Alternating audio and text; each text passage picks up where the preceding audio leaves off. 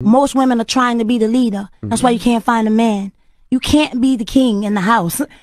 Fall back and be the queen and let your man lead lead the way. What does that mean? You, you can't be a leader because a lot of women look at it like, no, you know, I could lead in my household. I could do this in my household. What does that mean? That's not how it's supposed to be, and that's why we bump heads. Society have placed our men, and women have to stand up and be the mother and the father and the provider. And so then now you are so bad, you so you can't be told nothing. That when the right man come, you lose him because you're trying to be the man. Can we be equal? Oh, of course. Mm-hmm. Because at the end of the day, I'm the neck, my man's the head.